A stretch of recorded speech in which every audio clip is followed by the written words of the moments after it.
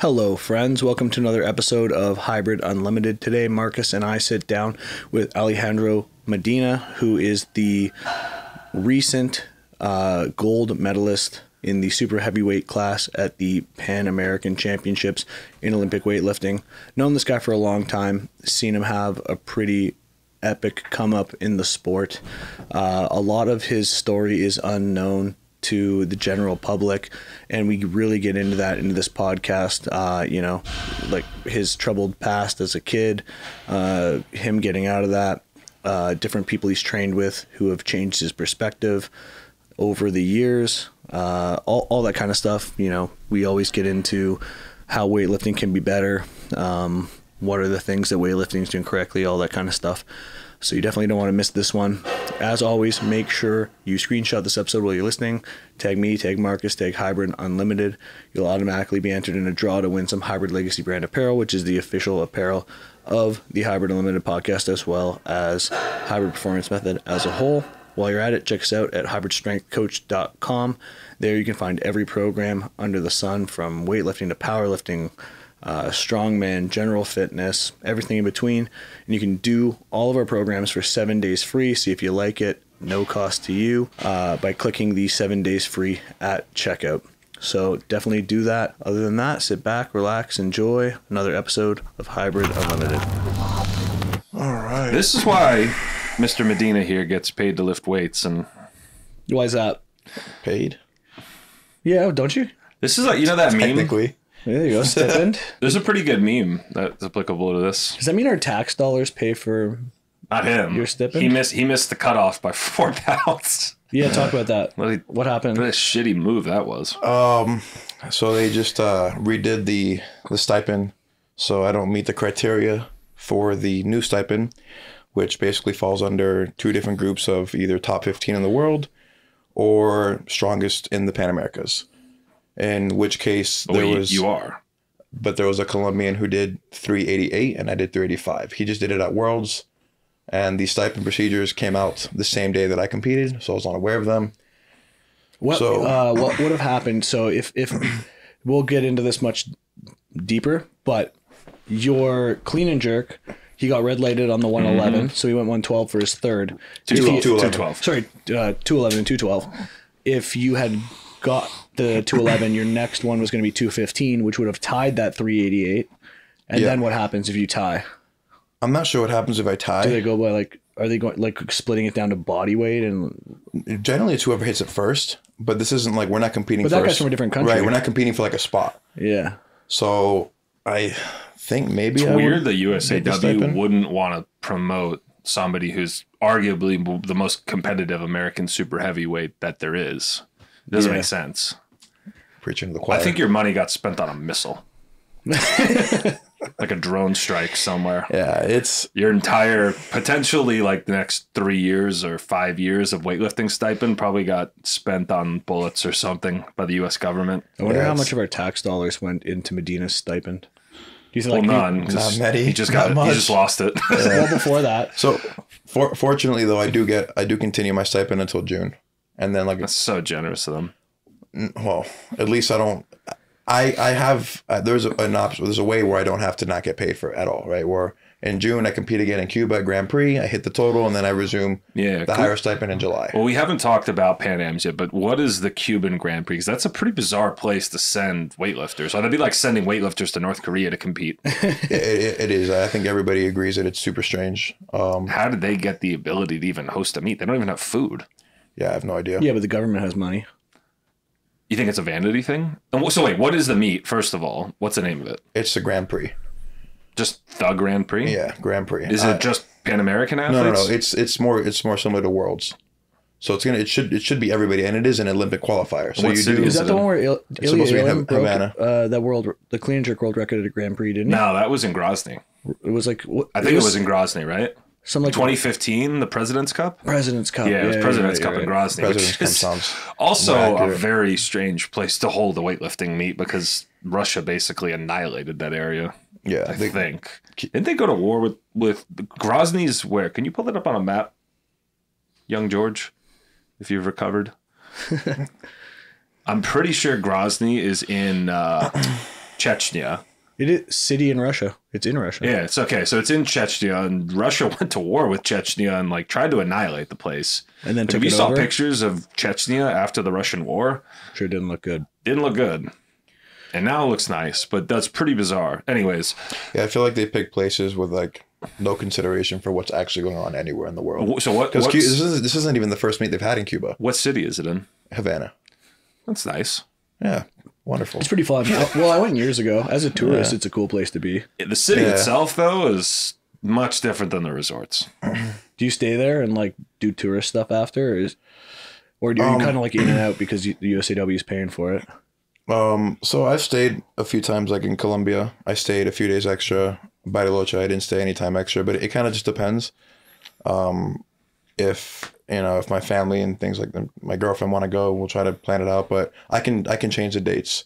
So if you saw puts my return flight, whenever I could extend it for two more days, and They'll still cover it. no no cost for me. Yeah, it's the same. Oh, okay. It's the same flight, right? Or I same think it's difference. pretty nice, though. I mean, it's a cool city. There's fun stuff to do. It's actually this really interesting place. So if you go, check this place out. It's called La Fabrica dell'Arte, and it's this really interesting art like bar exhibit thing, but it's like got some kind of anti-government vibes going on when I went there, and it's it's bizarre. Like to me, it shouldn't exist in Cuba because it's so seemingly controversial. There's some art that spoke out against the government there, and like just it's very bizarre. But if you get a chance to go there, it's in Havana. It's like on the the west side of the You city. can or write me like an itinerary. Yeah, Well, I- yeah, and when if you while you're at it, if you're there and you want to pick up some uh, legitimate Cigars Cuban for you? cohibas, I'll still Yeah. give you some money. yeah, same. uh, they, they don't buy them off the street though. The people selling them on the street are You got to go to the Garbage. cohiba place. yeah. It's cool. It's a cool spot. Cool we'll- we'll tourist see. I, destination. I don't intend to spend too much time there, but um, we do have to stay there for at least four days minimum. Well, that's Okay. interesting. So, for anybody who doesn't know, we have the recent Pan American champion, super heavyweight champion, Alejandro Medina, on the show today. Uh, longtime weightlifter, big fan of your work, Thank you. and uh, congratulations on the win. yeah, Thank you. congrats. That's huge. That's huge. So, tell tell us a little bit about the meet and your performance. Um, I mean, we did what we had to do. Uh, ultimately, that was the most important thing. Uh, I had gotten my total beat at the Arnold actually for my world spot. So this is the last chance qualifier. So going into this meet, I had to hit a certain total, and if I didn't hit this total, which I've never hit before in my life, I would actually be off of the world team and lose my Olympic eligibility. What was that total? So- you It's a had lot of hit. pressure. Wow. Yeah. At the time, it was three. I had total three eighty two. Um, at the at AO in December, and then And what was that like? Snatch, a clean and jerk. What'd you hit? one seventy five, two oh seven. Fuck, that's And- big. and then somebody else um, was a, new, a fairly new lifter. Um, his name is Aaron at the Arnold. He had done 170, 213. So he beat me by a kilo, then taking the number one spot. And then I had the number two spot. So I'm still good at number two. Top two, you know, qualify for all the events. And then at the end of the day, I was like, I got to be better at the time of the Olympics. But as long as I'm top two, I can continue to qualify. The problem was, is that um, I I had worried that Caine would potentially maybe also beat that total. So at Pan Am's, it was me and Caine. And, I didn't even know he was still competing. Yeah, so exactly. You know, he was potentially going to retire, then came back, and he just kind of wasn't really training. Um, What did he hit, by the way? 384. Oh, so you chipped them. So yeah, so but what happened was I hit 211 to try to just secure that spot because I we saw that Caine was going for that spot as well. Yeah. Um. So and if Caine kiloed Aaron, then I'm the one that's off. Then I dropped to three with Aaron at 383 and Caine at 384. So we took 211 to put me at 384. Um, and then I got a, a no lift, right? And then Caine walks out, which is 212, which for him was pretty pretty big considering he wasn't really doing a lot of training. Um, he didn't have a great performance at last Pan Am's. He did 373, so it was a big improvement from that. So I don't think too many people really expected him to come out and hit a total to put him on the world team. He go he goes out. The clean was like looked a little heavy, and he just fucking smokes a jerk. And I just missed 211, and I got one more attempt, and I'm sitting back there like fuck. I just got booted off the world team, and I had one more attempt to go. Um, so the stakes for this meet were a lot higher than I think what it seems from like the outside. Because a lot. I don't post. I don't talk about these things. Um, but there was a lot of anxiety like leading up to this meet because you know you do this, you train your whole life to get to this one competition to try to make it to this one thing, and then it's only one meet that you know you can get booted out of Mm-hmm. of you know everything that you've worked for. So um, yeah, a lot went into the prep, um, but ultimately, like I said, we you know went out there, hit 212, and then I, which what I thought was the most the least likely scenario happened because I thought Aaron was going to end up being at least the number two. If I I thought maybe I would kill him, but me and Caine both. So it was Aaron did 383, Caine did 384, and then I did 385. Wow, that's tight. So is that the most competitive class there? In terms of for first, in- second, in, third? in America for sure. And to be just to be clear, Aaron did 383 to prior comp. He wasn't at Pan Am's. oh, okay, got you. Um, but in, in America, no no classes are that tight, right? Like Nathan is the best 89, Wes is the best 102. Well, Sester's is is good as well, but um, it, again, it's two guys, not three. Um, and we also had Kaiser as well. Um, same thing, Hampton, the best 61. So there, there's a little more clear cut best lifter in every class. So Super is the one that has the most traffic because we got a couple guys in the 370s as well that were trying to qualify for this meet at the American Open and the Arnold. So you talked a little bit about the anxiety going into this. How do you manage that? I didn't. What, so what do you mean? Like you're just stressed constantly? Yeah, I was stressed uh, for the most time. For the most of it, um, I had probably like the worst bout of insomnia that I've ever had in my life, and I don't really know. I think in the beginning it was a little bit of anxiety from the competition, but you get anxiety before every competition. I've never had to deal with insomnia like I deal with in this particular case, and I was already going to bed at like three in the morning. And then waking up at around 11, not a great schedule, but that's what I was doing. And then once daylight savings happened, I was going to bed at like four. And then like one late night, you're ready at five. And then before I knew it, like I couldn't get to sleep anymore. I was going to bed at like eight in the morning. Whoa. Like I, I watched the sun come up like four or five times. Like this is like two weeks out. So I'm like, That's the worst because then you know like there's no recovering. Once the Yeah. sun comes the up, sun you're comes like, up, I'm- it- this is the- just gonna be a tired it, day. it, it destroys you like mentally. There's something that goes off in your brain once that sun comes up and you haven't had any rest.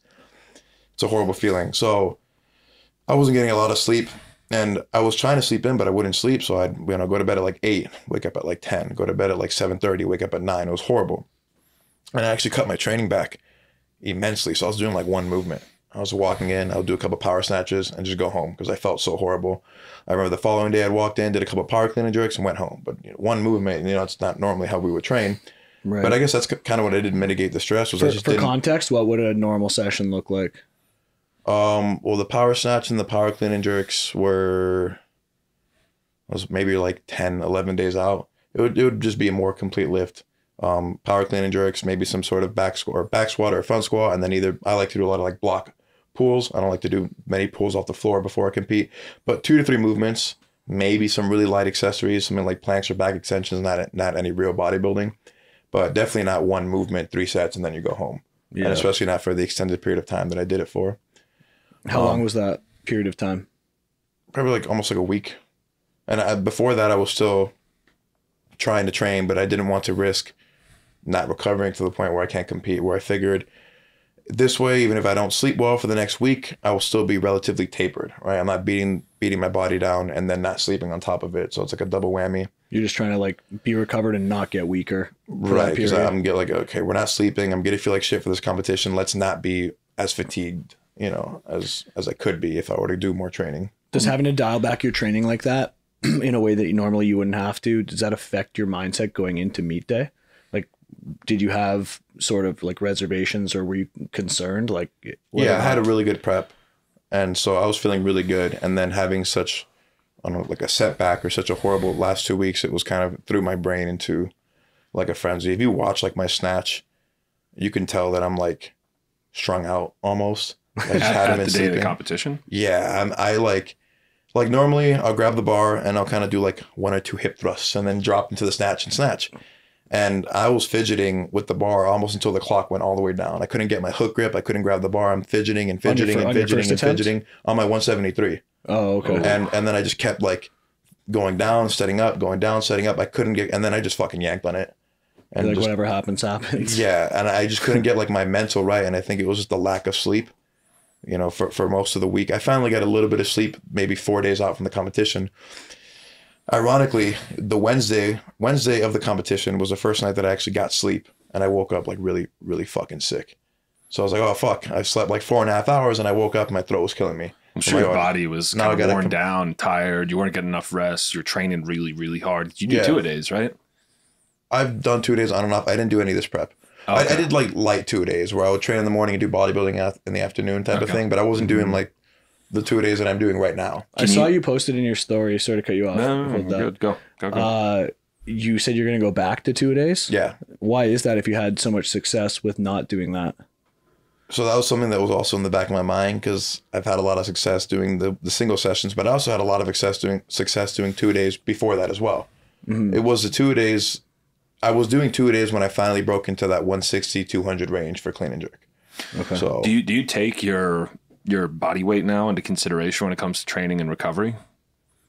I, and I'm saying this. My question comes from experience, right? Because as a power lifter, and I got up to you know 140 something kilos at my heaviest, and I noticed that I had to dial my training back quite a bit in terms of time in the gym and number of days, number of sessions per week. Because as a heavier person, the stronger you get, you know, you're having to recover not only from Right. your, your your top line strength, but your body weight also factors into it because you have more mass to also recover from. Like, you know, now that you weigh what right, you we, weigh, we recover slower. right? And uh, I'm, I, I, it's a question I'm curious if you've ever thought about it. I think a lot of people actually don't know that too. Like they think if you're a 62 kilo lifter lifting at your 100 percent versus like a 109 kilo lifter lifting at your 100 percent. Right, it's not relative. It's, not all relative. it's- yeah, it's not at all. It takes you a lot longer to recover when you're bigger and you're moving bigger 300 weights. kilos is 300 kilos. It doesn't matter how heavy you are, how Yeah. light you are.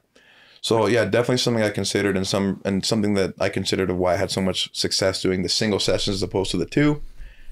But I'm, I'm just trying to dial in even even more, sleeping better, um, eating better, and just kind of going playing it by ear to see like how my body. I know how my body Yeah, works. I don't think and, it's like, a universal answer because, like, I Yeah. at least I know with like powerlifting, you know, the absolute weight is so much heavier, so the stress on the body is also something, you know, because like back squatting 400 kilograms is considerably harder on the body than 200. You know, it's just Right. So if we're going to be snatching with a high frequency, we can do it with more frequency than as you would do a deadlift or a back Sure, squat. 'cause, the like, weight is fifty percent The- or forty percent or Well, whatever. I, I'm asking just because I noticed when I cut back my training and I changed it. This was just because I had a, a new coach at the time who trained me to do things differently. It was a consideration I never had before that because I was like, oh, I can train with a lot of sets and a lot of volume and a lot of tonnage. And then you think, okay, well, if I'm doing that, the absolute tonnage on my body, imagine you do five sets of six reps or something. There's 30 repetitions right there. And then take the Mm-hmm. weight, multiply it out. And it's like, a ton of work has been done. a ton of work's been done. And, and then your body weight increases, then your body's having to also recover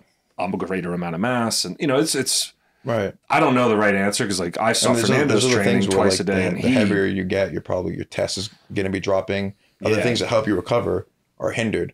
Like I said, I don't I don't sleep. But when I first started getting weight and I would lay down, I would kind of just feel the weight on my chest. It would be uncomfortable. So all these little things they factor aside from just what you're talking about the total tonnage. In regards to recovering, you don't recover as well. I felt like I slept, recovered, ate. My my eating habits were better when I was 90 kilos, 100 kilos. My metabolism was was better. I was hungry all the time. So all those things, yeah, That's one of those definitely things that- factor them in. If you're struggling with sleep, have you ever thought of getting a CPAP?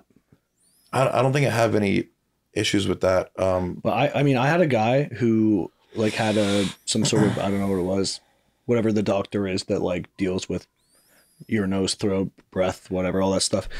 I was ENT, at, huh? an yeah, ENT. ear, nose, and throat. Maybe, or I don't know if it was like a don't know. breathing guy, if the lung guy is different than the ears, nose, Pulmonologist. throat guy, whatever. Yeah. But either way, uh, I was I was in Vegas and I was uh, at the UFC fight, and this guy just walks up to me and gives me his card. You told me about this. Yeah, It's, and I look, I'm like, "What's this?" He's like, "You have sleep apnea." I can tell. it's uh, cause, just because you were big. Yeah. and I'm like, "I do, but how? But how do you know?" And he's like, "Well, you just have a certain width of neck, and you know, percentage chance once your neck is bigger than a certain amount, you're gonna get Oh, have yeah. sleep apnea." So Sleep it's study like- might not be a bad idea. Yeah, but I, I mean, it's been a lot of up and ups and downs, but I've been sleeping well this week, and I really feel like I have it dialed in. Like we talked about, kind of just like what doesn't allow me to sleep and what allows me to sleep. Um, and my girlfriend's never, she's never told me anything about Yeah. like well, the choking in your choking sleep or- is or that's a wheezing or- big that's a big Yeah. sign. I That's do, what I do that. my girlfriend noticed that Yeah. back at the time. She's my girlfriend, and then I got a sleep study done, and they like they only had me in there for like six hours. Like, go home. Like you're fucked. Send me Yeah. a CPAP the next day. It I think amazing. for as heavy as I am, I'm pretty good with it. I'm sure I could probably still benefit from a CPAP, but I, I don't know how I could get used to sleeping with something on my face. it's weird, but the quality of sleep you guys like it's, Every everybody tells me it's amazing compared Oh, dude. comparatively. Yeah. My I dad put that got thing one, on, and it's he was just like, I thought what I was doing my whole life was normal, and the amount of energy I have now is like, yeah. like Yeah. I, this. If this is what normal is supposed to be like, I what I was Haven't doing was normal. terrible. Yeah, the, the mask is definitely weird. There's no doubt about it, but Yeah. you get this weird sense of calm. Like some people can't do it, and it's it's Really? sucks for them because I, I feel for them. Can you toss and turn with it on? Yeah, That, That's what I'm thinking. I'm thinking like you got this thing Yeah, locked to, on like, your face. lie and you all plant- I sleep So- on my side. That well, that, that's also what they told me too because I was asking somebody else about it, and they said that it's not even recommended to sleep on your back if you have No, if you if have you, sleep the weird thing is if you do, your mouth can droop open, and then you can start to like leak air out of the mask through the mouth. Because you have there's two different types. They have a mask that goes over the nose, and they have one that goes over the full face. And if you do the full face one, it prevents the mouth from opening. So it prevents that the jaw from dropping. But if you sleep on your back, I notice when I've tried it, my my uh, my jaw starts to like droop open a little bit, and it reduces the effectiveness because when your tongue's depressed up against the top of your mouth, I think it creates a more direct airwave. And I'm not a fucking doctor. Let me preface that, but I think it helps. Um, and and I I know the noise is like white noise. Doesn't really bother me. I you. sleep with earplugs. So I'm like a maniac okay. when I sleep. I'm like earplugs in, you know, melatonin and CPAP, and you know, I'm untouchable when I see You sleep. got the sleep Right. cocktail nailed down. Oh yeah, I'm, yeah, to say the least, to say the least. So I'm really curious about the the, the pathway for you, you know, because you keep talking about the Olympics. You talked about your journey a little bit over the last couple of months. You got the Cuba Grand Prix coming up. What's the journey look like from presumably a good total and a good performance in Cuba all the way to 2024 in Paris? So it doesn't really matter what I hit in Cuba, other than trying to get on the the stipend. But you basically just got to knock out these qualifiers just to do them. You have to do the qualifiers, be present for drug testing, but the total doesn't really matter. Like you, you asked about Maddie, how that getting not getting the total she wanted affects her. I, I don't, unless I'm mistaken, I don't really think it does. She just has to make the total at the next meet or the meet after that because you have you have to do five of the seven qualifiers. And to my knowledge, you just have to hit the total, whatever total you may need, before the Olympics at In one of those. one of those five to seven, right? Okay. Five of seven, which is Worlds 2022, Pan Am's that we just did, Mm-hmm. the Grand Prix in Cuba, um, Worlds 2023, which is mandatory out of the five of Where seven, is that this year? Saudi Arabia. Ooh, Oh, that's shit. that's actually a cool one. Yeah, That's It'll be a, it should be a lot more fun. In than- Riyadh? Yes, yeah. Oh, that'll be- wow. so they're gonna fun. fly you out there first class too?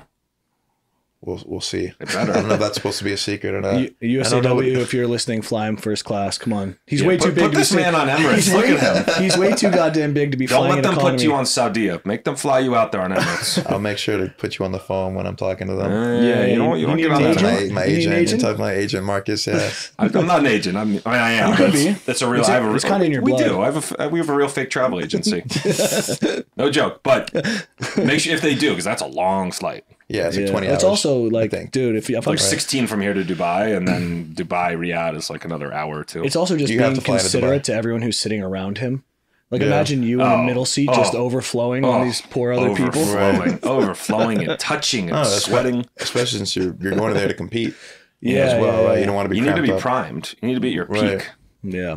No, you don't have to fly to Dubai, but from here, the only way to get there is either flying to New York and then Saudi or like J or like DC to, to, to Riyadh, or you can go from here to Doha or Dubai. So and Dubai's the best one, It's the best airline, right? unless they put you on. Yeah, well, okay, no. If they fly you business, go on Qatar. And then Qatar is money. Yeah, that one's that nice. one's. I'm trying that this summer. We'll see. yeah, you'll But like it. if they fly you any other way, just tell them to put you on Emirates to Dubai, and then Right. Qatar, they give you a little robe, slippers. You just get right at home. oh baby, You won't be drinking, but they also have like a, a, a bar you can walk to, like a lounge. You can just chill. Wow. Yeah. mocktails. They have tons of mocktails actually. Oh, there you go. You can get like a uh, what, what's it called? What's John drink? Uh, Shirley Temple. Yeah, you can get Shirley Temples. I grew up drinking so many Shirley Temples. Did you? Oh, I love that shit, dude. So you're gonna I had, compete. I had the Sprite grenadine in my house, or no, the, the strawberry grenadine and then Sprite that I was making them at home all the time. I love I that can shit. see. There you go. Yeah, you- No, it's well to go back a little bit. When I first met Medina, we were at CrossFit Seoul. What year would that have been? 2015, maybe. fifteen probably. He he was like a skinny dude. I remember. Sk- You had to grow into that head. Yeah, way less than you. yeah. Oh my Sk- god. Yeah. Skinny Dude, What a glow up. What a gl- if you want to call it that, right? Yeah. Listen, as one large man to another. You weren't you weren't like weak at that time, but you were kind of still novice. Like what were you doing? Like 120 and 150 or something like that? 120, 126, 156, 127, 156, I think were like my best numbers Okay. around So that time. yeah, let's talk a little bit about your trajectory from that to here, because you had a long time of sort of grinding out. I feel like, at you know, making little incremental gains, and then you had a period of time where your progress, like you, you just started winning meets and you know came to the top Yeah. pretty quick. What was the thing that changed all that? Like just being persistent because it comes in like huge waves. You'll Mm-hmm. be hitting the same number for a year straight, and then out of nowhere, you just finally start kind of break through.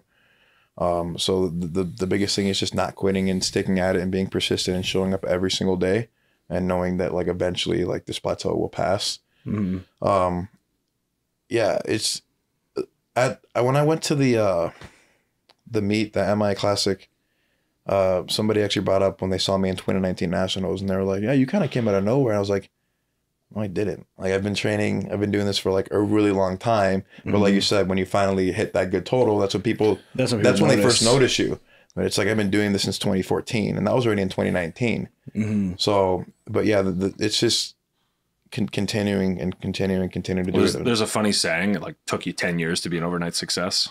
Right. Exactly. Yeah, well, no one sees all the work, like you just said, up until the point where you you become you're hitting a normal total at the time. Yeah, you're in the You know, back, normal. You're there, but you're in the background. Right, because you're Yeah. not the superstar. You're not the Kendrick Farris, the Caine Wilkes of that time, you know. And then all of a sudden they see like, oh shit, this guy's doing big weights. Like, where'd he come from? Right. Mm. It's like, yeah, I've just been in the fucking corner of a gym for ten years. Right. Yeah. And if you look at my Instagram, I've been posting for almost like every day since I started. So you can scroll and just see the progress from all the way from 2015. I think I started posting early 2015. Was there ever like a specific point in your training that something really clicked and you started to make real progress? I think I've had pretty consistent progress for, for most of it. But training training here with Fernando, I learned. a lot. I've been pretty fortunate. I trained uh, with a couple of really good coaches. Um, I, I started with Camilo, Yeah. and then after Camilo, I trained with somebody who worked, who had learned from Camilo. And then after Camilo, I was kind of on my own. Or after that, I was kind of my own. And then I came back here and then started training with Fernando. And Fernando kind of just, I kind of just saw like the, the grit and, and the intensity that you need to be training at. And even the frequency where, Mhm. you know, I'm like, if this man, you know, he's, he was 30 or 31 years old and he's training with so much frequency, so much intensity, through injury. through injury and like and and I just saw kind of like the discipline necessary where he's like, hey, we're training tomorrow at ten thirty, and I show up at ten forty, he's already on his second working set. Like he wouldn't text me, wouldn't call me. Makes you feel like a bum. Maybe yeah, exactly. So I'm like, damn, I fucking suck. I need to get here at fucking ten twenty five, and it kind of just that that that discipline kind of took it took my training I think like to the next level and you can't if you can't bullshit if you're gonna be doing two a days you can't be showing up late and then training until four in the afternoon and then you have your second session at five thirty right. so just kind of fine tuning those those things and seeing a, a high caliber athlete, seeing Fernando snatch whatever 170 on a Monday and and, and then 160 on, on Wednesday for reps and then like 180 or 190, just seeing the frequency that they hit these. There's these something numbers- valuable t- about being not the strongest guy in the room too. Yeah, right? absolutely. Like yeah, when you're like the guy who's leading the pack, you're kind of like you can rest on your laurels a little bit, right? You're like anything I do, everyone's going to be like, "Ooh, cool," but it's like when you've got somebody to chase, I feel like Yeah, that makes that a hunger's big there. difference. I felt like that for a long time, you know, being there was no other person here like objectively stronger than me like, in mm-hmm. terms of absolute weight they were lifting. So it's like I'm just gonna keep pushing on my own. But I notice you have that environment where you're like training with somebody that's fucking way stronger than you. yeah, It creates a fire. Like you, it's just there's this competitiveness that occurs. You don't even think about it. It's just like, oh, I Yeah. got like that guy. Like I want to be as strong as that guy, and it's like this very primal thing. you compete every day. Yeah. So you try to catch them on a bad day. You know don't wanna be a little bit. bitch. and Just to then get that and then win. that- right, just to get that one win, and then you try to build off that and keep going, and keep going, and keep going. Yeah, so 'cause- what about now? Because you're now you are the strong. You you are in your own gym Right. and you are the strongest person. So does that affect you negatively, or do you think you were able to sort of carry all those principles over from your time training with Fernando to what yeah, you're I doing think I think a lot of those things carry over. Like I know what to do now. Like I know what it needs to what needs to be done. Um and um and I, like this like Aaron, the guy who to, who kiloed me, it was kind of like a double edged sword. Like okay, now I'm kind of my spot's in jeopardy, but I kind of like that it like okay, this isn't supposed to be easy. Like going to the Olympics isn't supposed to be easy. There's always going to be someone trying to beat you. So like that lit kind of a fire under my training as well. Where like if he didn't beat my total, I would have stayed at that number one spot and then you know maybe kept coasting. But I, I but other than that, I think I've done a pretty good job of just I can I push myself. I, I my my goal is, is the Olympics, and I I'm not training with Fernando anymore, but I'm watching what these other people do, what these other people do. Like I told you, we were, I was watching the 2014 World and watched 2015 Yeah. Worlds, and I'm seeing these numbers. I'm seeing the numbers they hit, and these numbers used to look untouchable. You know, where like these guys are on drugs. I can't do that. It doesn't matter. Whatever. Like, but it's cool to see, right? Cool to watch. Where now it's like I'm watching. I watched the. I think it was 2014. They opened up at like 165. I open up at 165. Like this is the bottom of the A session at Worlds, and then there's a couple guys snatching in the 70s, and then the 80s, and the 90s, and 200s. It's like okay, we're right.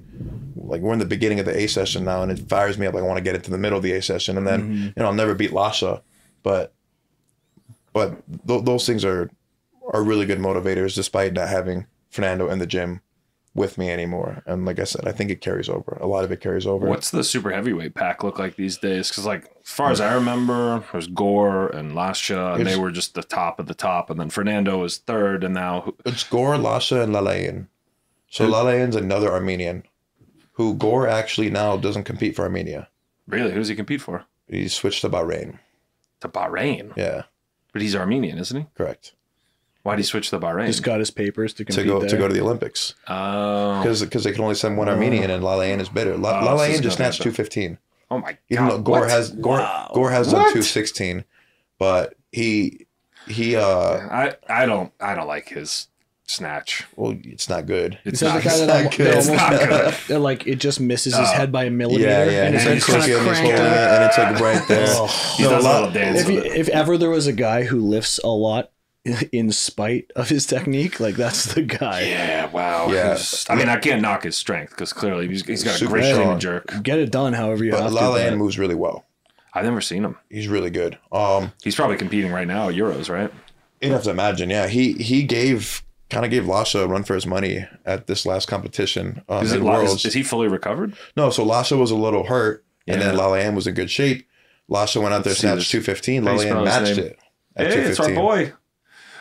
Who? I'm just kidding. Tate? Yeah. Um, put uh, I don't even know how to spell it. L A L. Just uh, put Armenia first or something or, or Yeah, worlds. or- Armenia, La Lane. Let's see if we get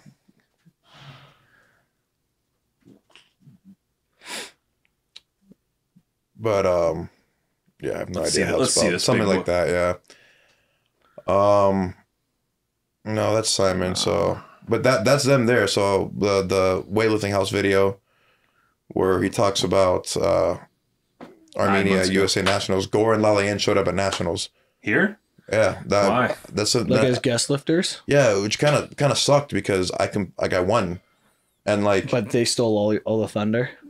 Right, so like you know people are like, oh congratulations, dude. Who was the guy that opened up at two twenty right after you finished? Like I Wait, did the they la- got to compete at USA Nationals? they- yeah, so they they let didn't. guest lifters come in. They did Right, the so they don't didn't count. They didn't. but- The uh, totals didn't count, but they still made me look like shit. Wow, they clowned you. yeah, so they just they. That's terrible. yeah, no, it kind of sucked, but Why do you think they do that? Just because they know exposure in America is like a good business move for when I, they retire have, or I have no idea. They kept it like a secret from us. So like, Like, we didn't we they- didn't even know. We show up to nationals and there's like Egyptians and Armenians fucking in the training hall. Huh. Well, because Wow. you see all the like Klokov, Torokhtiy, all those guys who have been successful post weightlifting careers from those other countries, they've all their success came from being popular in the American market, right? Yeah. Doing tours all around America and stuff. So I wonder if that's part of it. Let me see, Did I? I don't have my phone on me because this video you're not really gonna. You're just gonna see bits and pieces. If you if you look up, just if you look up the world world championships 2022 and and 109 plus, fast forward to the end, you'll kind of see the the battle between Lasha and And it's a type uh, 109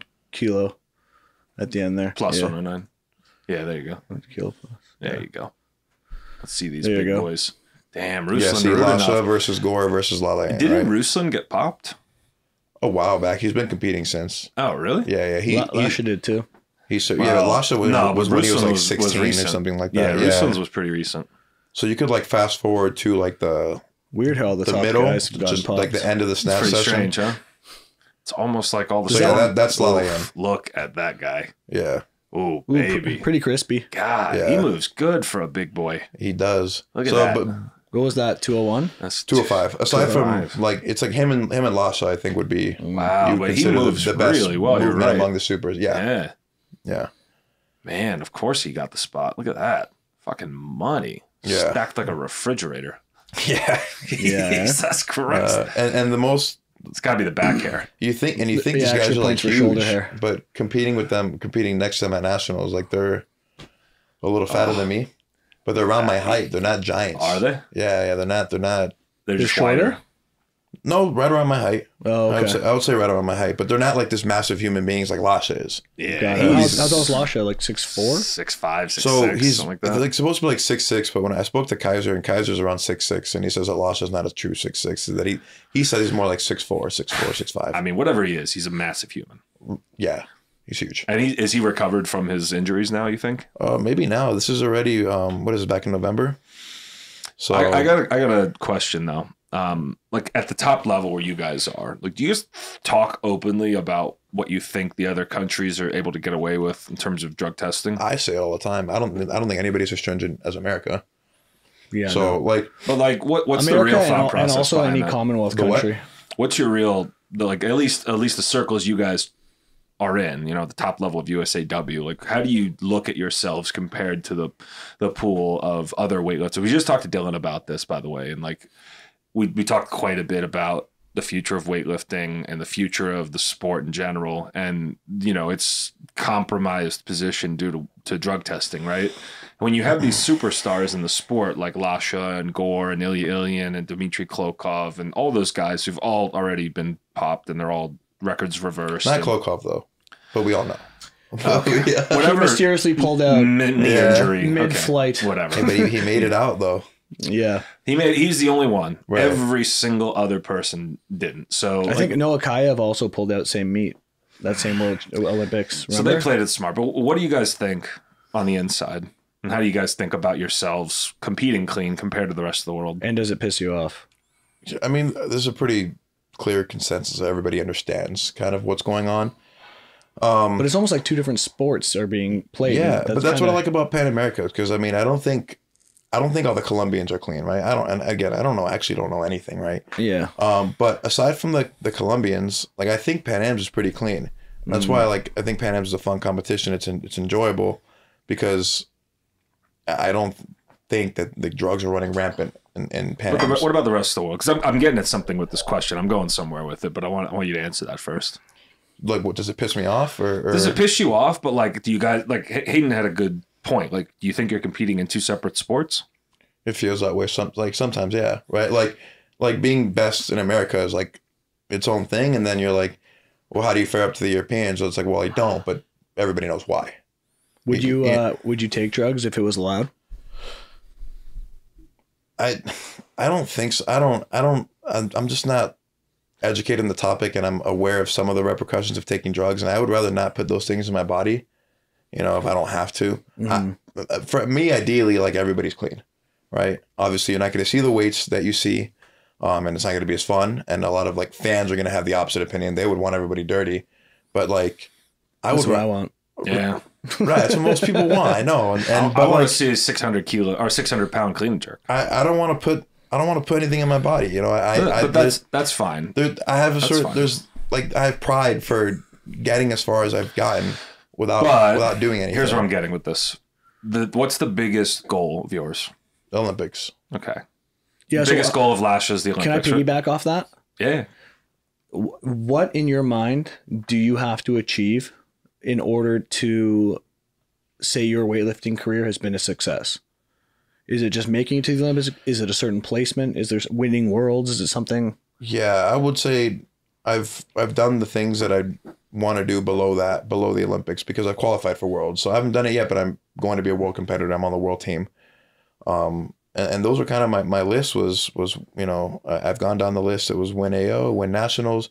It was go to Pan Am's, and then I, I won a little. I think sooner than I may have thought I would, Oof. and then go to Worlds. Nasty. Um, and I think just going to the Olympics, being the best in in you know in America, or, or one of the top three in America. Um, uh, you know, nobody expects me to go and try to snatch 225 with Lasha. And, and again, it's understood. It's understood among everybody. Um, when Lasha or when Gor and Lalayan were at nationals, weightlifting house actually did like a little interview with me, and one of the things he- he asked is like, "Do you think they understand?" And I was like, "What do you, what do you like, understand what? that you guys are that we're clean, clean. and they're dirty?"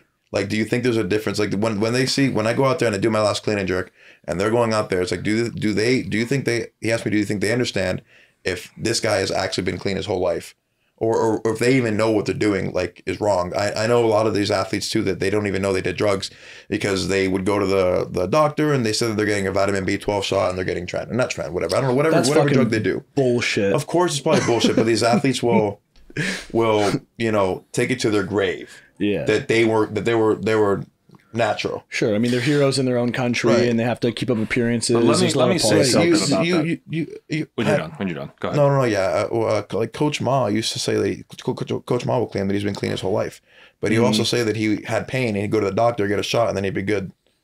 So it's like, and he'd be like, no, vitamin B twelve, Well, I just did that today. I'll yeah, be- well, I'll you be- did PRP. Well, It's a little different, but the point is that like, and it's like some of them I'm sure are lying, right? Some of them know what's really going on, but maybe there's a couple that are naive, like these, like some of the ga- people that have gotten popped when they're 14 Mm. years old. Were they really doing that with malintent, or was it forced on them, and they maybe didn't even know, right? Or they're in like real bad situations, poverty, and this is their only way Right. out, kind of thing. that's kind of where I'm headed with this. So, like, if you look at a lot of these countries, a lot of the countries people accuse their athletes of being dirty now. This is probably his best path to financial success, no matter what you say, right? Like, he's the most talented weightlifter probably to ever exist in terms of raw strength. Mm-hmm.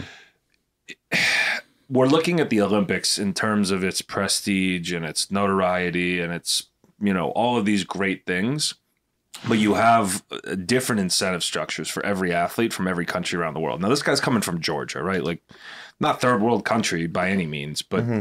certainly a it lot. I don't think it is. I could be wrong, but it's not. It's not like Ethiopia or something, you know. Like, Yeah. like this guy is doing. You can't say third world anymore, by the way. They're developing nations. Yeah. Yeah, I- way you show I you could- the two fifteen Beautiful. was. I could say whatever I want. so, I mean, if you look at guys like that, Nations. Chinese and and Georgian athletes and all these other folks like do you do you really blame them for choosing the best path to success? Yeah, Like, 'cause I, you- like I you- I wish I wish the sport was clean, but I don't care. I don't blame them. I'm not mad at them. I'm not pissed off at anybody. Because a You lot of I mean? people are. A lot of weightlifters I've heard from, they, and, and people I've heard talk about it, they get very upset at the idea that some countries are doping and some are not. I feel like the more common consensus is people in America get very mad when someone in America tests positive, but then they'll be like, Yeah, that happened." "Oh, all well, the my time. favorite lifter is Ilya," and you're like, Right. "Well, Yeah. why?" Yeah, you saw it with like. well, the- there's there's like you said, you you hit the hit the nail on the head a second ago. Like people want to see big weights. right. Right. So if you take that out of the sport, is it going to be as popular? Is there going to be a lot of eyeballs on it? And then what happens to the financial incentive It's for already the not athletes? popular enough as is. Right. So, and I know this is this is an impossible question to answer because the Olympics are predicated on the idea that, or the weightlifting in the Olympics is predicated. All the sports are right. So clean sport. yeah, so weightlifting is predicated on the fact that it's an Olympic sport, it's prestigious, it's got history behind it, all this stuff, but it's pretty clear that there's a big doping problem in the sport because what brings eyeballs to it are the big weights, and the only way Sure. to really do that, hate to say it, is But this. there's also just a spotlight on it because of the nature of the sport. It's putting the most weight over your head that you possibly can. right. You know, so there's just like the spotlight that like, oh, there's more drugs in this sport when the, these drugs are in every sport and all the track athletes. Yeah, They're all. It's just Oh, that they're track getting probably- good fairly I think it's because because of the nature of the sport. There's a little more scrutiny when it comes Oh, to the you drug look testing. like oh, big man put Right. 500 pounds over his head. Like you're sure something's not going on, hmm right? right, but like a nine six hundred is Right, and they're getting awesome all the time. Yeah, Swimmers too. Swimmers, Well, we track put and field. out we we talked about this. We've talked about this many times, but there was one podcast where we talked about it, and I said, and it was a clip that we put out on a YouTube short uh, about. I was like, dude, do you think Usain Bolt is clean? Like, obviously not. right. And it's not. And I said it's not taking anything away from him because obviously he's an amazing athlete. Yeah, he'd be the best If everybody what. was clean, he would still be the best. But everybody is not, and he's still the best. So it's like, it's just a part of the sport that's kind of understood. And the amount of backlash we got of people just who obviously had Yeah. no exposure to high level competitive sports were just like, "There's no way." You know how many times they get drug Yeah. tested? This that. How many like- times did Lance Armstrong get drug tested? he actually never tested positive. Never. He just got routed up It, by it that was little his bitch Floyd biological Landis. uh, passport that ended up getting him. They No, it was Floyd Landis. Well, that started it, but then they they were able to prove. Yeah, they probably went back, but Floyd like, Landis the was the way one that that you're- How do you get in trouble without an actual positive test? You have evidence. No. So Uh, I'm not really aware of the situation. I know he was popped, but I assumed he was the, drug it's tested. called a biological passport. So taking certain compounds over time changes the way that you your your labs come back. So they were able to look at his labs from years prior versus current and there's no way that happens in nature. Whatever. Exactly. So that alone is not wasn't enough to uh, totally incriminate him. It was very good evidence, but then he had all these people testifying, His, his uh, and he decided yeah. to, you know, he came come, out, come but clean about his, uh, his so the teammate he had at the time on Team Postal Service was this dude named Floyd Landis. Team Postal Service. Yeah, USPS sponsored it, man. They were like the gangsters of the cycling world. So this guy won the Tour de France for like seven or eight years straight. France hated him because he was winning their sport. You know, like this was their national pride, all this stuff.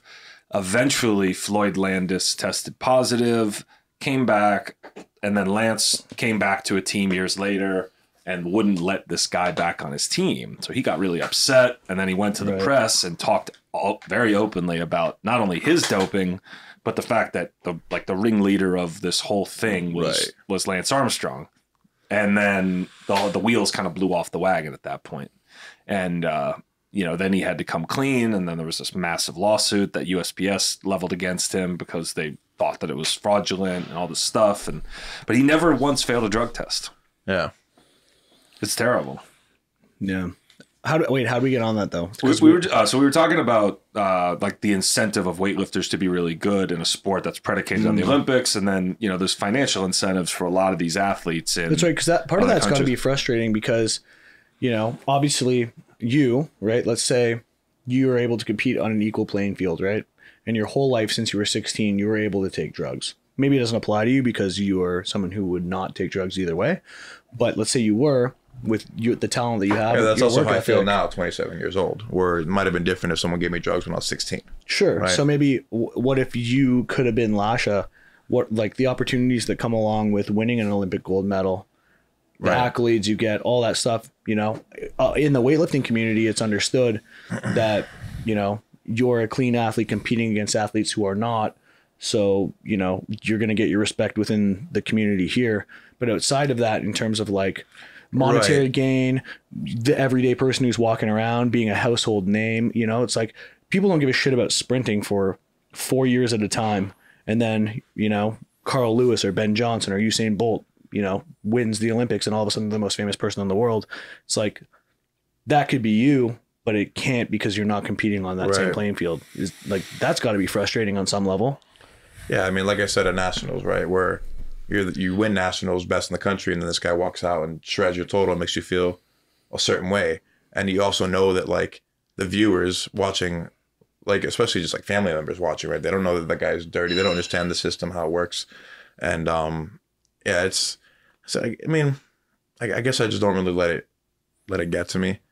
I, I don't. I just I'm kind of focused on myself. I really think that I could hit some really big numbers naturally and compete with a lot of these guys naturally. Like I said, not Lasha, probably not, or not, probably not, not Gor, not Lalayan, but um, just lift more pretty than them. just yeah. And, and like you said, there is respect. Like in America, like if you could do 180, 220, you're gonna get respect no matter Oh, what. Like, 100%. you're So still oh, yeah, 400 kilo. you're still strong, yeah, and you're stronger than a lot of people that do do drugs in America, that, or maybe they don't compete Yeah. or whatever. But like you're you're stronger than a lot of people that are on drugs too. Well, you're also you're also you're stronger than a lot of people who do drugs in those other countries. Like you're just seeing Yeah. the best guy from Georgia. There's a bunch of guys who are doing drugs that don't make it. right, You know. right. So And, and I'm gonna switch topics a little bit. In your eyes, like how, how would you make how would you turn the sport of weightlifting around something? like- sorry, oh, I'm clueless. really? Yeah, I don't. I just want to lift weights, man. I don't. I don't, I don't have like. I don't have the answer for that. I, I No, just but want to I lift mean- more weights, and I hope that people care and people want to. No, watch, but like, you know? all right, and this is the reason I'm asking. We talked about this with Dylan, and it's a thought I've had a lot recently. Is because weightlifting is not as popular as some of the other strength sports, right? Yeah. You look at like strongman, you look at powerlifting. Even powerlifting's become a little bit more popular for different reasons, but Right. I think strongman's a great example. It's become very, very popular. There's a lot of fanfare around it. But I'm talking about the actual format of competitions. Have you ever thought about how that could be improved to make the sport more fun and more viewable? That's tough, eh? Because you have And to totally really- change they, it. They they've tried. They they're playing Yeah. with those things at nationals with moving the warm up platforms and making like they move the warm up platforms out to the side so that, that the viewers can see the warm ups, right? Oh, Yeah. that's Um, interesting. and That's a lot cool. of, a lot of people actually got upset because a lot of people were really upset about it. Ultimately, it didn't bother me at all. I didn't really think it made a difference like people thought it would. But little things that they've tried, I, I really don't. I don't know because of the nature of the sport. It's just not that uh, unless you're watching head to head at the end of a, a competition or at the end of a meet, Mm-hmm. um, or, or some of the best lifters, or somebody that you know, somebody that you're rooting for. It's kind of boring. What if it was like You know, there's not much you can do about it. you'd almost have to like change the events to like snatch ladders or something like you know like that CrossFit and then you approach. get, and then you're doing CrossFit. No, but like think about it. If the sport's in jeopardy at the Olympics, which it clearly is, Mm-hmm. then it has to remain. And I'm a fan of weightlifting, and I'm saying this. and it's I'm one of the you to- original. Right. Olympic I'm, sports. I'm a huge fan of weightlifting. I used to be a weightlifter. Like, Mm-hmm. I love watching it, but I don't want to see it die. So I, I've, Right. I've asked this question now a couple times to people, and there's got to be a way to innovate, right? Because it, it's basically been the same format ever since it existed. The viewers It's not haven't, clean re- press anymore, but you're right. yeah, but Yeah, you know what I'm saying. know, like, yeah. you have one guy In terms of the another guy. structure of Right, the right, yeah. competition, It's not very viewer friendly. And I think, as much as I hate to say it, a lot of what makes a sport successful is the ability for viewers to understand it, enjoy it, and make it entertaining. so if weightlifting is going to survive, especially if it gets kicked out of the Olympics, I think the, the the idea that it needs to remain relevant is a pretty relevant thought to have. Yeah, I do think it should be. I do think it will be in 2028, though. It will be in the Olympics. I, I think. I mean, Has there been discussion about that? I'm I'm so removed from any of those kind of discussions, so I'm not really sure. But Pyrros just said that he thinks it will, or that it will be. You know Uh, what I when, I, think when I spoke to him at Pan Am's, right? I don't know exactly the kind of credi- credibility he has in that regard, Mm-hmm. but um, he told me it, it will be, and what you know, I just okay, cool, I believe it. You know, You know what I think is a huge driver of, of Olympic sports is collegiate sports. So I think getting more uh, like weightlifting scholarships, like opportunities that you know, it's like why are so many people in basketball, football? You know, the majority of the people that come from that, you know, obviously some of them are coming from privileged backgrounds, but the majority of the people who are coming up in those sports, they're coming up in those sports for an opportunity because they can go to school, they can do all these things, right? And maybe they wouldn't have the means to to to pay for it, You know, if they don't have that. It's like if you if weightlifting can offer offer people an education and a step to something else, you're going to see one the talent pool get way bigger, right? If you're a strong guy, right? Even just think of like all the fat kids that were just strong growing up, right? and they're like, what do I what do I do with myself? You know, it's- go into weightlifting and maybe you can get a, an education out of it. It's Right, like, it's going in that direction a little bit. I do believe there's more schools that offer it now. Which there's a couple. Was Lindenwood the first one? I don't know who was the first one, but NMU just shut the program down. Uh, but you have like uh, Lindenwood, you have uh, Brewton-Parker, you have uh, ETSU, uh, the wherever Mash is at, I forget Lenoir-Rhyne or something, Yeah, like in that. North I don't- I don't- Carolina. something like that. Um, I think there's more of them. And then one thing I've one thing that's definitely happening in Florida is, is it's a lot more prominent in high school. That's huge. So interesting. like well, I- that I- that leads to exactly the same thing. the collegiate. Um, so I, I believe my old school, my old high school has a weightlifting team now, and I think for some reason a lot of them are like women's weightlifting teams. Mm-hmm. So there's not like a, as much men's, but I do think they're they're both growing, and they were both pretty popular in northern Florida, and now it's happening in like southern Florida. Um, and I had this guy who was uh, uh, coaching some of these teams, and he was asking to see if I can help or talk to the kids or whatever. And he was telling me the kids that he coaches, and he coaches like a kids from Gulliver or, or something like that, and or or there's a he coaches uh, kids from some school. I don't remember the school, and then uh, I saw like the, the team schedule, and it's like, oh, here's here's against Gulliver, here's uh, Archbishop McCarthy, whatever. And I'm like, none of these schools, because that's a district that I was in when I was in high school. None of those schools had a weightlifting team. I didn't know what weightlifting was until I got to college. So it was definitely moving in that direction, clear at least in Florida for sure. Yeah. Um, but yeah, having it in college would be would be huge, right? If, if it can, if there's something that can create opportunity like basketball and football, where you get a free college, or even to help financially post college, which doesn't exist right now, really, because you Right, got to right. be best in the country to make pennies. But if that were to happen, yeah, that's gonna definitely help it grow. But in order for that to grow as well, that like you talked, there has to be viewership and people that enjoy watching it, which isn't really the case, right? Like you can't make something popular if people don't enjoy it. Yeah, but there's got to be a way, and I don't know what the answer is yet. But I mean, to me, it's the reason that kids want to grow up and be football players is what, or NBA players. the level one the amount of money and well one money two fame uh three you see it every day growing up like your exposure to right. it is huge It, it just hasn't injected itself into the zeitgeist of our culture, so to speak. You know, but It- it's it- become sort of like the the root of a lot of sports right like now you see every football team is doing power, Power cleans, cleans, right. They're all- every, they're all every hockey things. team baseball like uh, everybody is implementing Right. olympic weightlifting into Yeah. as a way to train for their sport They're still not like aware though. Like, you know what I mean? Like they do these movements, and then if you show show somebody that show somebody that's in college football like the same movement, a full clean or a jerk or a snap, they're still like, oh shit, like they're they're they're kind of taking it back. and well, like it's a super movement. impressive movement. I mean, it's the, one of the most impressive strength movements I've ever seen. Way way more interesting than powerlifting. well yeah, for I can't watch powerlifting. Yeah, it's boring as shit. But there's more people powerlifting. There's a lot more people powerlifting. Well, but it's also easier and like Yeah. more, more, more. It's more, more for Simpler. everybody, right? Like, yeah, it's more simple, and it's like if you weren't good, if you weren't good at sports, you weren't good at basketball, you weren't good at football, or, or I think there's a lot, a lot more outcasts in powerlifting as well. You kind don't of know, grab, weightlifters are pretty freaking weird. you too. gravitate towards. they're, they're definitely weird, but they're, but the high end weightlifters are athletic. Where Sure. like in powerlifting, you can be a pretty good powerlifter without necessarily having to be athletic. Right. And I just feel like there's, there's lesser components to being a good powerlifter, and maybe it's also not you know so black and white, but it's just it's easier to do, right? You can just go to the gym, you can start deadlifting, you Google program. You can't just go to your 24 hour fitness and learn how to do a snatch and clean. and you can also do powerlifting anywhere, right? You can Yeah, do go right, to an LA sure. Fitness and do squat, bench, deadlift.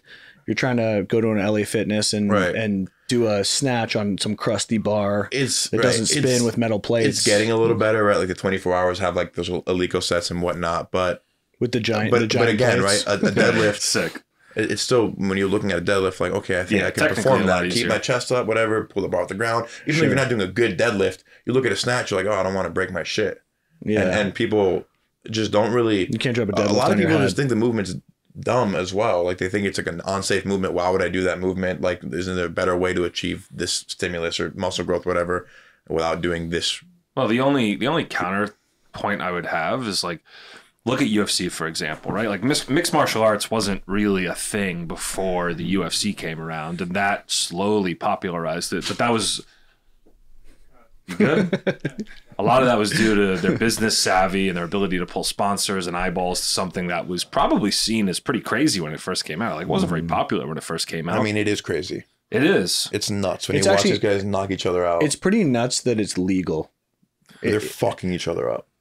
Yeah, I mean, you're. It's, it- I don't- it's the closest thing we have to like gladiators. Yeah, yeah. I can't think of a more violent combat sport except Bare knuckle. for well, not just bare knuckle, but car jitsu, Car jitsu is what I was ten on ten, Yes. Russian. Uh, uh, uh, uh, what was it? MMA. Yeah, it was ten on ten or five on five Russian MMA.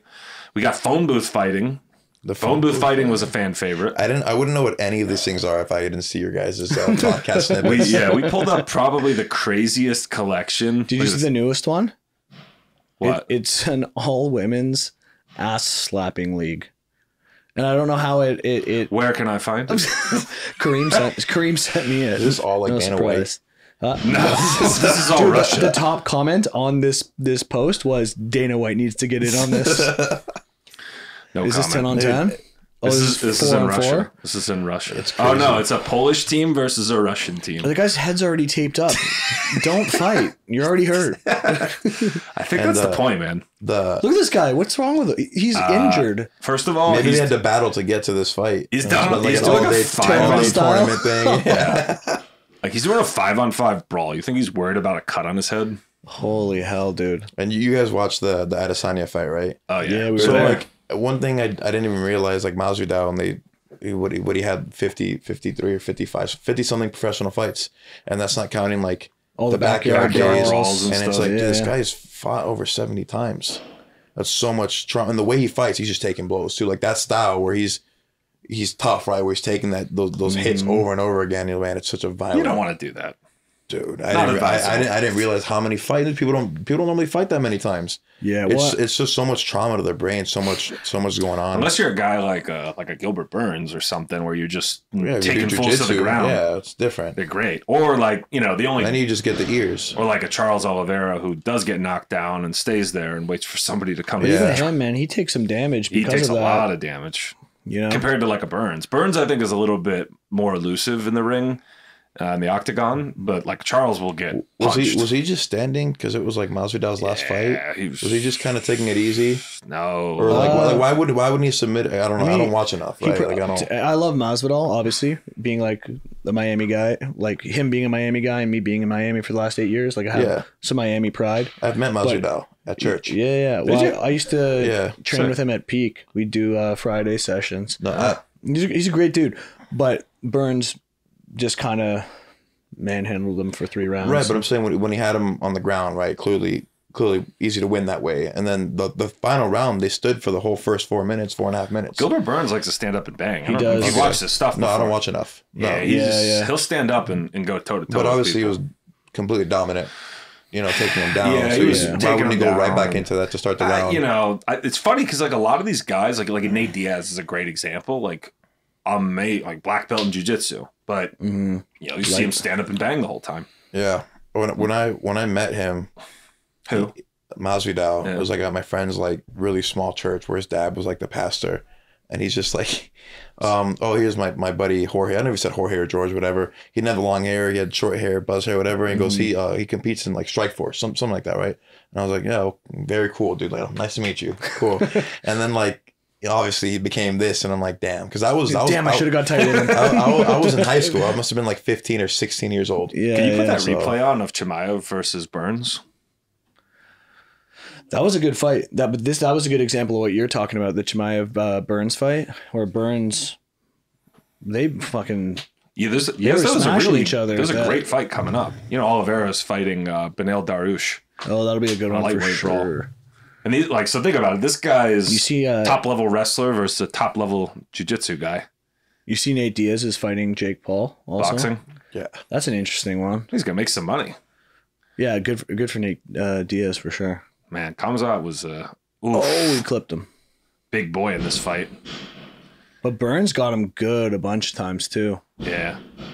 They said that uh, Chimaev really like got sucked in and uh, like pulled away from his game plan. Like But you- Burns kind of you sucked. see, him this into is it. like the thing, right? So it's a podcast about weightlifting and we're watching MMA because it's more exciting. It's like somehow we gravitated towards this, right? When we're supposed to be talking about snatch and clean and jerk, right? It's kind of my good point. point. That's, it is a good point, but This is also just but I relevant. bet you these guys do power cleans. maybe not Nate Diaz. Maybe yes, I think he smokes blunts. That's an exercise. but yeah, to your point, like it's tough, right? Because part to me, like when I think about the Olympics, I think about what the the essence of the Olympics means, and what that has always meant is finding the purest forms of. You know, it was based on combat back in the day. So, who's the strongest? Who is the fastest? Who can jump the highest? Who can jump the farthest? Like all of these basic human uh, sort of like expressions of athleticism. And in modern times, we've gotten away from that a lot, which is okay. But we're incorporating all of these like games, right? Like basketball is a game, you know, soccer is a game, uh, American football. Right. any of that shit. It's th- these are all games that were n- that are not while they are entertaining, and I will watch them and I'll support the countries that I like to support in those those sports. They're not the true essence of what the Olympic Games are all about. So when you talk about like removing wrestling or removing weightlifting or any of No, these it's, ridic- things, it's ridiculous. I'm like, it, Yeah. this is it's bullshit because And they put skateboarding in and The whatever, Yeah. skateboarding's crazy. whatever, Skateboarding, whatever else. surfing. Surfing. Like It's like- weightlifting is the most pure, you know, contest of strength, power, athleticism, Exactly. speed. it's you're trying to find who can lift the most like that is it, it- olympics is all about the basic human physical attributes and finding who is the best at each one of those things so it's like when you start incorporating all these other things it's like great they're popular right but They every want time you, eyeballs on the sport or on the, on the but the- games. but I think if you never introduced those other sports, then the Olympic Games would have stayed true to what it is, and people are all going to tune in no matter what because of national pride, right? Just like I said, nobody gives a shit about sprinting for four years at a time. maybe that's why, all of a sudden everyone tunes in. You know, but it, it takes away from the Olympics almost when you start incorporating all these these sort of more game like sports.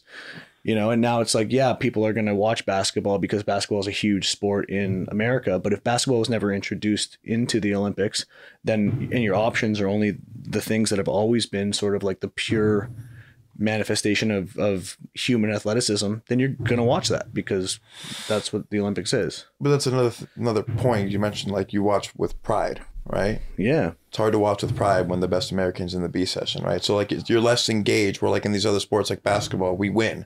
You know, so you do a have that. point. You have the pride.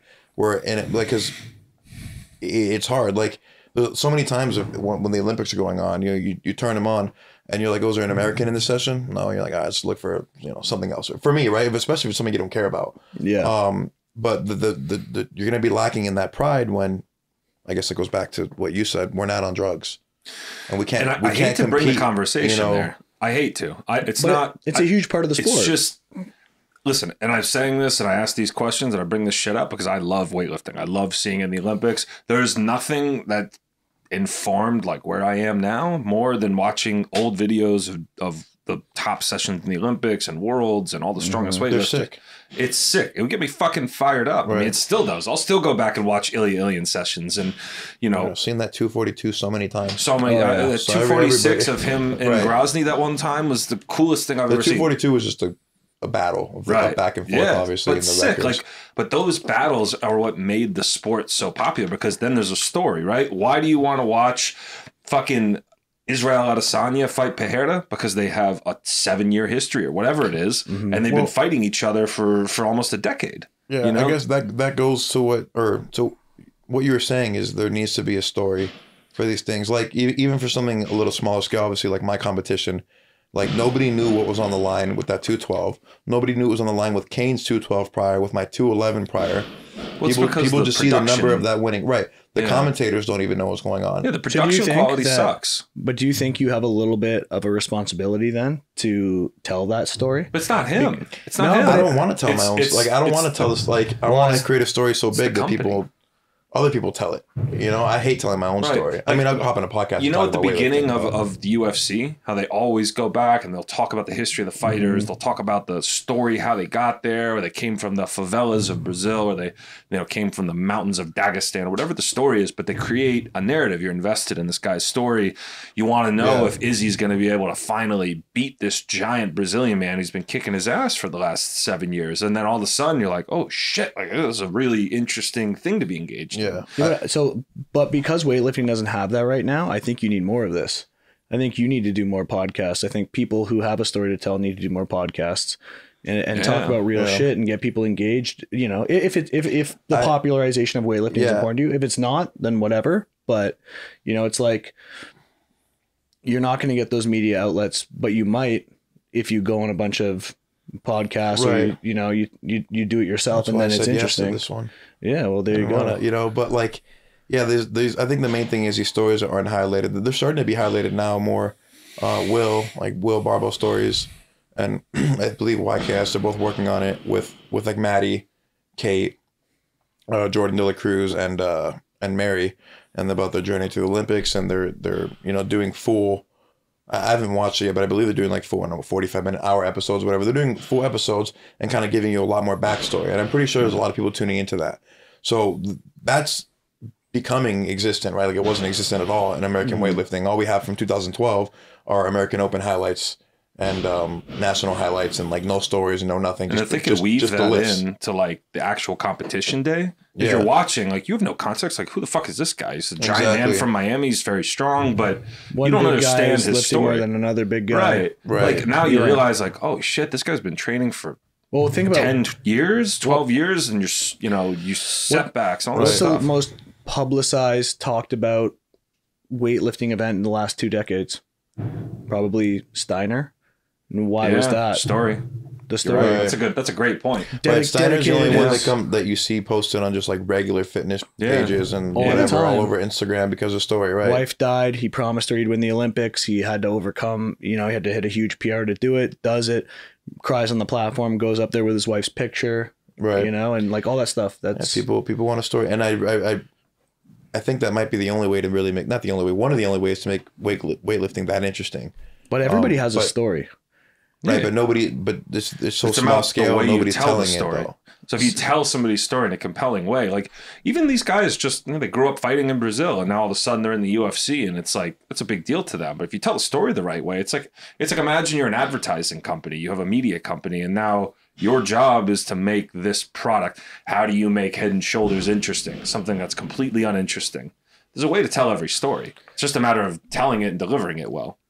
And I didn't try to set this up, but this came here perfectly. You have a story that's very interesting that I don't know if you've ever spoken about publicly, but you were going down a not good path for some time, Right. right? And you completely turned it around Yeah. and you went from basically the opposite of what you're doing now to being completely dialed in and focused on like one task. And I don't know how much you want to talk about it, but I don't mind talking about it. So yeah, if you, you want to start I- with what what that bad path was and like what was the you know ESPN turning point of that whole I thing. I actually started a. I, I mentioned some of this with a podcast and John with John North like in 2017 after I medaled at University Nationals, but haven't talked about it since. That was a long time ago, and I don't remember how much detail I went into, but um, and I started doing drugs early. You know, I was doing a lot of already a handful of drugs by when I was 13 years old, uh, to the point where I even got Baker acted when I was 13 years old. Wow. Um, so yeah, not not good. Uh, I won't go into like too many details like what I did, but just it was enough for that to happen. Um, and just kind of in and out of that lifestyle from 14, 15, 16, 17, and trying to do things better, getting involved in the church, but still doing drugs, and then going back and forth. And around 17, getting into more of like psychedelics and college, trying to, college didn't help at all. Obviously, I went to college somehow, and then I ended up getting dismissed, dropped out of college. Um, and uh, well, I'm I'm skipping things here. When I was 17, I also got, you know, seven, when I was 19, I got kicked out of the house, um, because I got arrested for, uh, selling, and uh, or supposedly selling, right? So, and and I think that was kind of the. The, the turning point. There's so many things that happened, so telling it, it's kind of scattered, trying to remember how it all went down, right? Um, but the, the turning point was really being arrested for the second time, both for marijuana offenses and just um, you know being being in jail and then going to felony jail and not being not knowing how I'm gonna get out and calling my mom and hearing the way how my mom was heartbroken and uh, and how my, my dad thought it would be better for me to stay in there when I called him and I asked if they could um, if he could bail me out and he told me that he thinks I should stay, which oh, ultimately that's tough. Yeah, but I I have such a good relationship with my dad now, and like at the time it was horrible. Like it was brutal for me to hear, but it's like this wasn't my first time fucking up, you know. And um, How old were you? I was at the time? nineteen. This is six days after my birthday, so I got I just turned nineteen, Hmm. and this is already my second time being arrested. And um and and I got Baker acted when I was thirteen. I was already doing stupid shit when I was thirteen, on and off, causing trouble. And and my dad had remarried and had two younger kids in the house already, so a three and a six year old. And I'm out here doing stupid shit, living under his roof. So, you know, I don't I don't blame him, but it was it was rough. Um, so and then I finally got out. I went back home, and you know he wouldn't let me back in. So just he wouldn't even let me in to grab my clothes. You know, they left the clothes outside, and uh, I started just living with friends, going from couch to couch for a little bit. My grandparents found out that I wasn't living at home, and they told me to come live with them.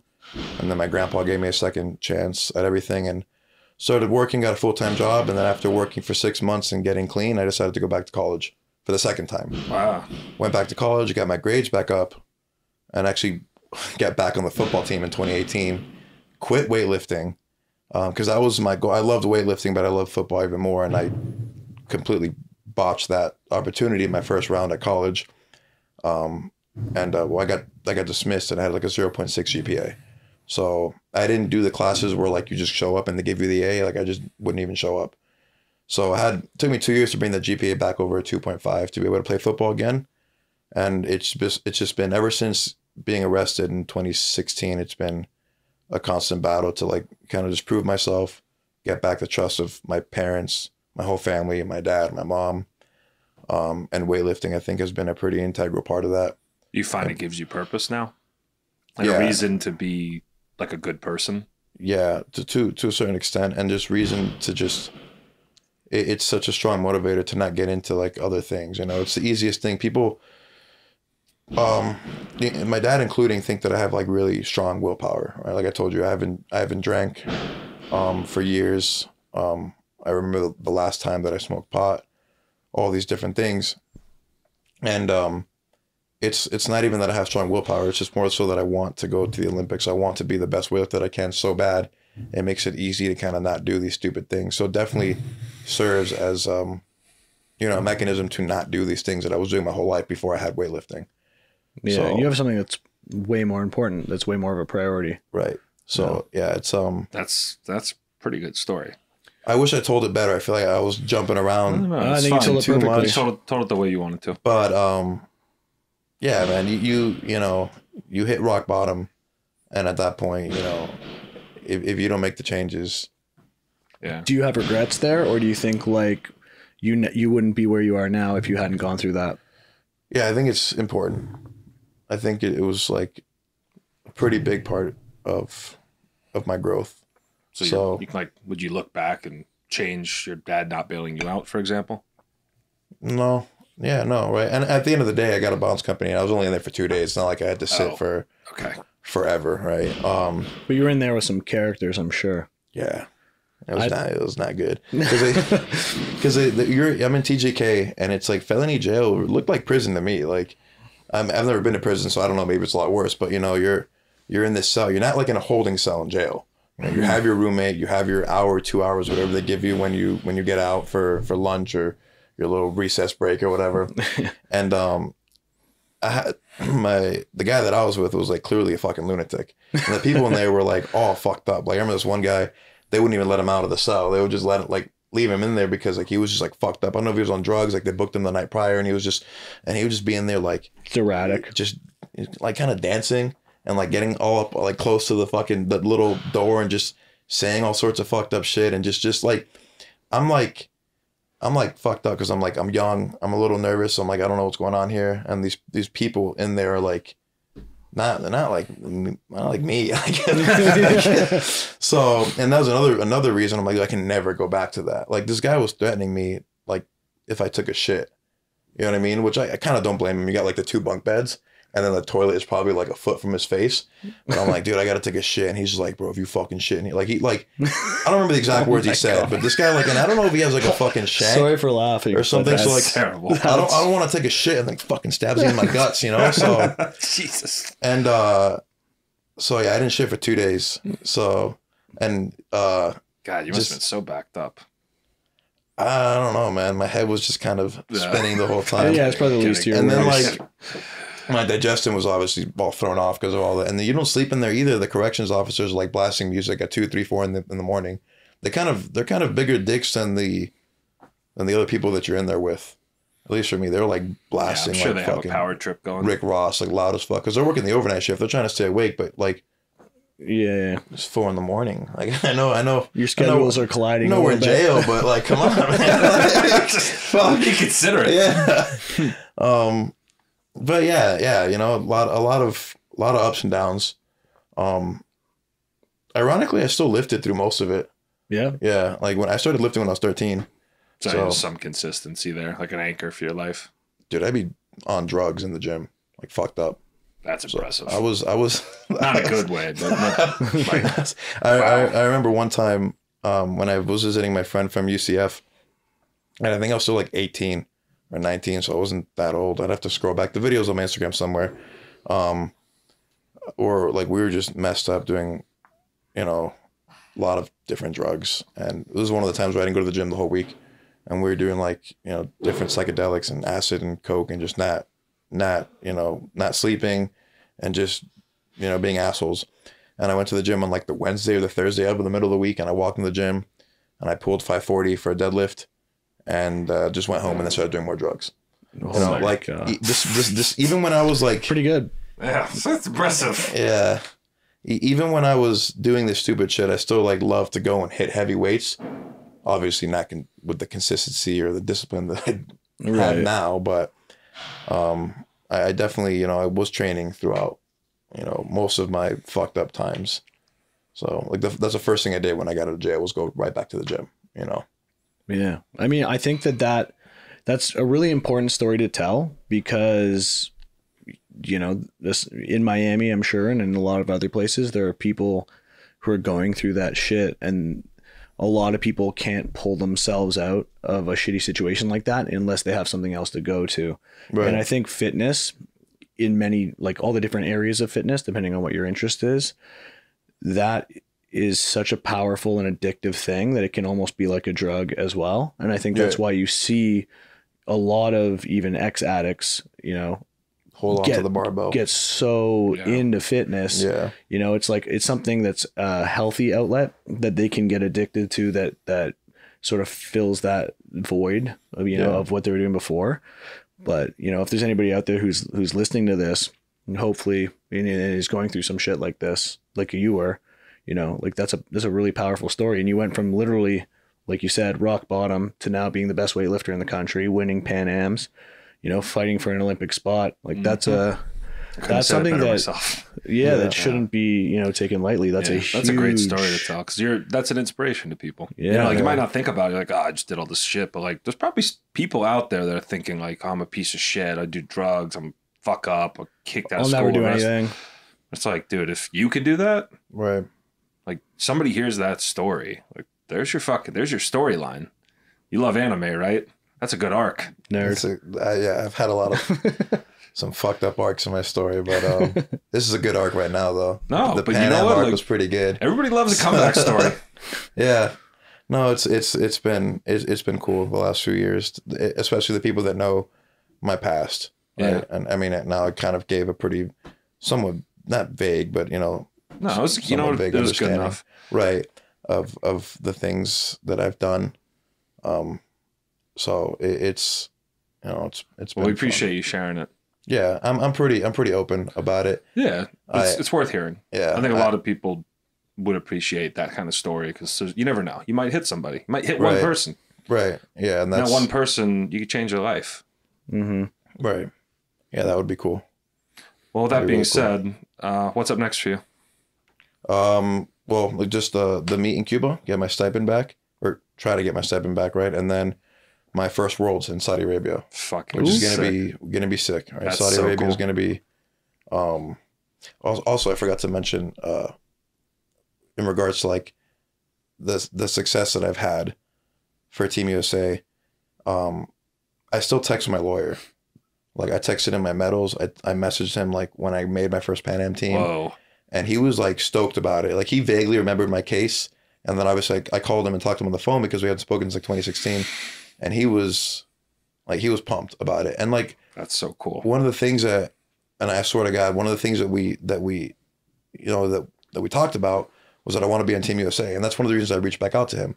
And he one of the things he told the prosecutor was that like I have a goal of being on Team USA, and I made a mistake or I've made some mistakes, but I've been training hard and I've been working hard, and I can't be on Team USA with felonies. So that's something that he actually, you know, told the prosecutors, and and I'm sure at the time he's thinking this 19 year old kid is you know full of shit, but whatever, right? Like, and um, you know, then so it's now I was 19, 26 when I first messaged him from the first Pan Am's because I messaged him after my first Pan Am's in Colombia, and again at 27. So seven years later, I messaged him about the going to Pan Am's, making Team USA, and even got his advice because I actually had to appeal it because I failed my background check because of this incident.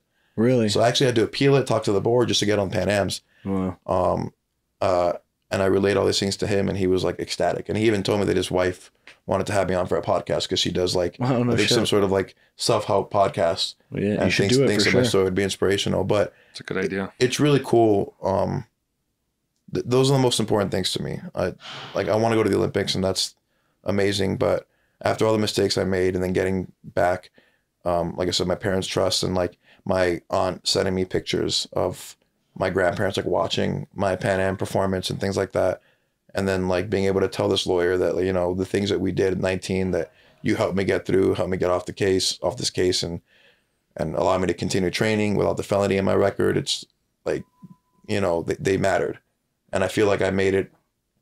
Like I, I can show them that like it, nothing was for nothing. Like like I I did what I had to do, and and I appreciate everything they did for me back then. And now finally I get to make them proud. You know, my grandparents, even someone like the lawyer, my dad, you know, um, that that's been I think like the peak for, for me so far. Aside from you know winning Pan Ams, is just making these people proud again after you know making things so hard for them when I was a teenager. Man, So Unbelievable. that's a great story. That almost didn't come up, by the way, but you guys set me up perfectly for that. I'm glad. I'm glad that happened. Um, Fantastic. Yeah. So where where can people find you now that they know the story? Social media, business, all that stuff. uh, my Instagram is Medina underscore Island. So pretty pretty simple. I'm not really on much else. Um, OnlyFans? no OnlyFans. Not yet. But if I don't get my stipend back, You hear that, Team USA? Don't make this man post unspeakable things. And fly him on Qatar or Emirates. Please put the man on Emirates. my dad told me it's technically pronounced Cutter. Is that correct? I don't know. I'm not Arab. I'm Canadian. Yeah, I'm Jewish. I'm as white man. as they get. know. Everybody says Qatar, and that looks and sounds correct. But I'm curious. We're no experts. When it comes time to selecting a flight, let me know. Okay, I'll, tell you ask if you- them. Well, after after Saudi Arabia is Qatar or Qatar, Doha, Oh, when's so, Doha? Oh, and that'll be Grand Prix too. Oh, you got a direct flight, baby. You can't go on nothing but Qatar. Yeah, Q suites. I'm excited. And you're talking about the slippers and the and the robe. We'll talk. Oh, baby. We'll talk. If they put you on Emirates in first, eh, I don't know if they will, but I can hope for you. We'll see. We'll see. I really don't. All uh. Well, don't bro, know this has what we'll be been getting. incredible. Thank you for sharing everything with us. Thank and you. Uh, that's it, guys. Thanks All for right, tuning in. Thanks for listening.